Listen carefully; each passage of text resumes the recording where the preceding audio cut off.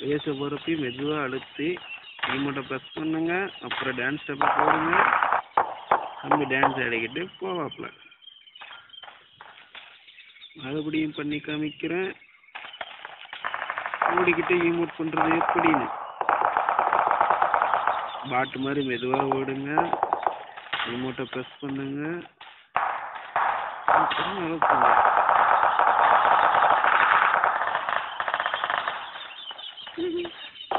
யாரும் பண்ணலாம்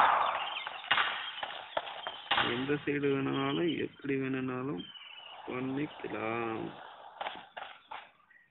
இது ஒரு பெரிய சீம காரியம் மாதிரி எல்லாரும் பண்றாங்க. அதை பண்ணலாம்.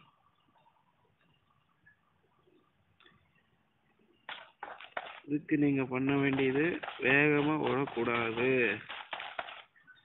மெதுவா பாட்டு மாதிரி ஓடுங்க. ரிமோட்டை ப்ரெஸ் பண்ணுங்க. அப்புறம் அழுத்துங்க ஓகே பாய்